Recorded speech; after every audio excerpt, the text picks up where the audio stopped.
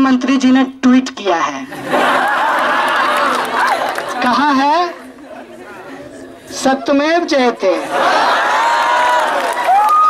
मैं भी कहता हूँ, प्रधानमंत्री जी, आपसे भारी वैचारिक मतभेद है, लेकिन सत्यमेव जयते चूँकि आपका नहीं, इस देश का है, इस संविधान का है। मैं भी कहता हूँ सत्यमेव जयते और सत्य की जय होगी और इस लड़ाई में वो तमाम लोग जो शामिल हैं, उनको एक बात बस कहते हुए अपना अनुभव आपसे शेयर करूँगा बस। वो एक बात यह है कि ये मत समझिएगा कि कुछ स्टूडेंट के ऊपर एक पॉलिटिकल टूल की तरह सेडिशन का इस्तेमाल किया गया है। इसको ऐसे समझिएगा कि मैं ये बात अक्सर बोला हूँ अपने भाषणों में। हम लोग गाँव से आते हैं मेरे परिवार से भी शायद आप लोग मुखातिब हो चुके हैं। बहुत बार तो हमारे यहाँ रेलवे स्टेशन पे जिसको टीशन कहा जाता है वहाँ पर जादू का खेल होता है। जादूगर दिखाएगा जादू बेचेगा अंगूठी। मनपसंद अंगूठी। और जिसकी जो इच्छा है, वो अंगूठी पूर्ण कर देगी, ऐसा जादूगर कहता है। इस देश के भी कुछ नीति निर्माता हैं। वो कहते हैं, काला धन आएगा। हर हर मोदी। महँगाई कम होगी, बहुत हो गई, सही, मत सही है। अब की बार ले आइए। सबका साथ, सबका विकास। वो सारे जुमले आज लोगों के जहन में हैं। हालाँकि हम भारतीय लोग भूलते जल्दी हैं, लेकिन इस बार का तमाशा इतना बड़ा है कि भूल नहीं पा रहे हैं। तो कोशिश ये है कि उन जुमलों को भुला दिया जाए। और ये जुमलेबाज कर रहे हैं। और उसको कैसे भुलाया जाए? तो ऐसा करो, इस देश के तमाम जो रिसर्च फेलो हैं उनका फेलोशिप बंद कर दो। लोग क्या करने लगेंगे? कहेंगे फेलोशिप दे दीजिए फेलोशिप दे दीजिए। फिर कहेंगे कि अच्छा ठीक है। जो पाँच हज़ार और आठ हज़ार देता था, वही कंटिन्यू रहेगा। मतलब बढ़ाने का मामला गया। बोलेगा कौन? जेएनयू तो जब आपको गालियाँ पड़ रही है, चिंता मत कीजिएगा। जो कमाए हैं वही खा रहे हैं आप लोग।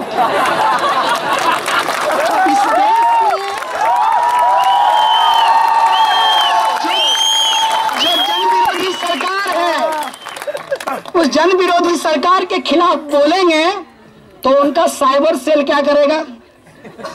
वो डॉक्टर वीडियो भेजेगा। वो आपको गालियाँ भेजेगा। और वो गिनेगा कि आपके डस्टबिन में कितना कॉन्डोम है। प्रधानमंत्री जी का आदरणीय बोलना पड़ेगा ना?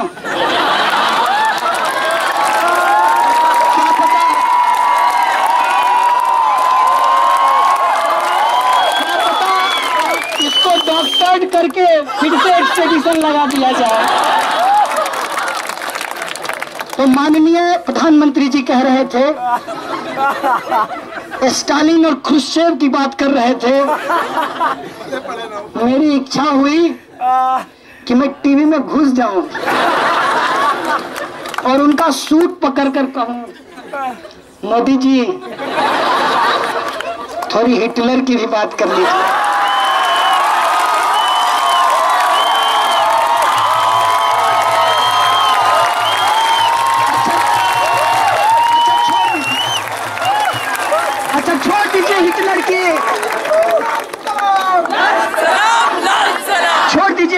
की। मुसोलनी की बात कर दीजिए जिसकी काली टोपी लगाते हैं। जिससे आपके गुरुजी गोलवलकर साहब मिलने गए थे। और भारतीयता की परिभाषा जर्मन से सीखने का उपदेश दिया था। तो हिटलर की बात क्रुश्चेव की बात, प्रधानमंत्री जी की बात, उसी वक्त योजना की बात हो रही थी। मन की बात करते हैं, सुनते नहीं। एक बहुत तीन चार कांस्टेबल जेल में मुझे पूछे कि सच में नारे लगाए हो? हम बोले, सच में लगाए हैं। फिर जाके लगाओगे, बोले, एकदम लगाएँगे। बोले, फ़र्क कर पाते हैं कि रेशनैलिटी खत्म हो गई। भाई साहब, अभी दो साल ही सरकार को आए हुआ है। तीन साल और झेलना है। इतनी जल्दी यह देश अपनी रेशनैलिटी लूज नहीं कर सकता है। क्योंकि देश के 69 परसेंट लोगों ने उस मानसिकता के खिलाफ वोट दिया है। इस बात को डेमोक्रेसी में याद रखिएगा। केवल इकतीस प्रतिशत लोग और उसमें से भी कुछ आपके जुमलेबाजी में फंस गए। कुछ को तो आपने हर हर कह के ठक लिया। आजकल अरहर से परेशान है। अदालत तय करेगा। अदालत तय करेगा कि क्या देशद्रोह है और क्या देशभक्ति है। यह तय मैडम स्मृति ईरानी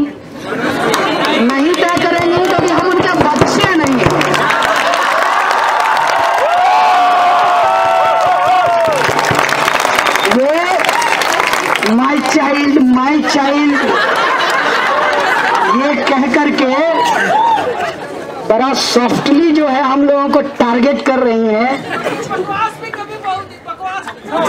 टारगेट कर रही है। एक बात मैं कह देता हूँ।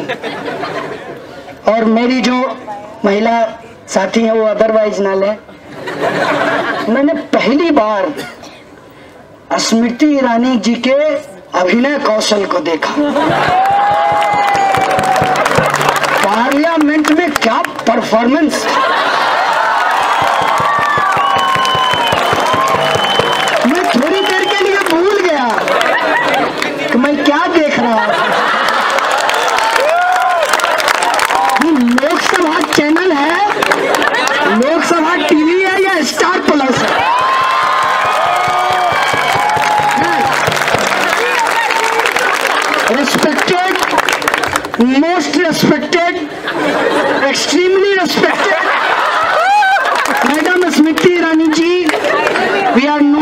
Not your child we are genuine student.